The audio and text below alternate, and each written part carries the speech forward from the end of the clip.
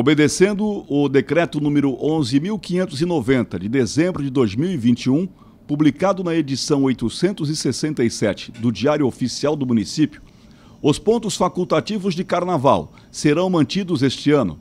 Desta forma, não haverá expediente na Prefeitura entre os dias 28 de fevereiro e 2 de março, com as atividades retornando apenas na quinta-feira, dia 3.